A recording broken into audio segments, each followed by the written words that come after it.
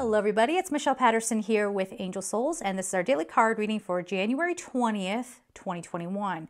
I was very curious, probably like a lot of you out there, to see what was going to come up for today. Now, we don't have anything, it says your dreams need a practical plan. Full moon in Taurus. Now, here in the US, got a lot of stuff going on. We'll just leave it there. But the, the thing that draws me in about this card is I see the bull.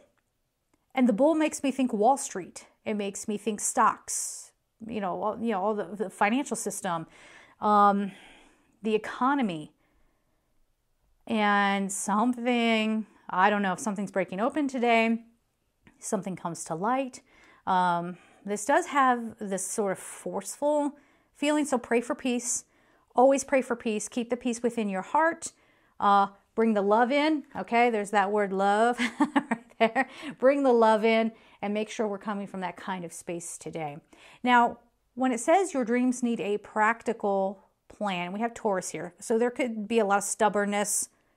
That's kind of a given. Um, some stubbornness happening. But when we say your dreams need a practical plan, I think this is a time where we realize the things that we once counted on, we can't count on that. And maybe we realize we never could.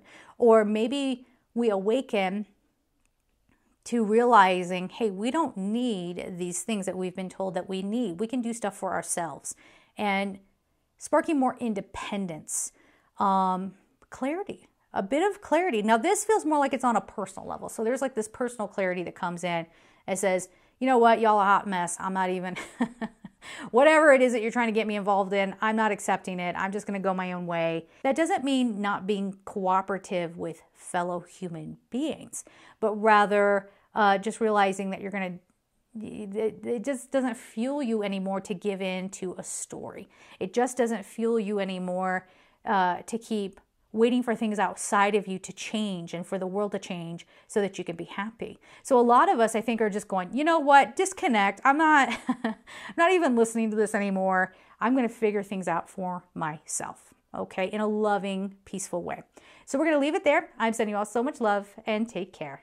Bye-bye.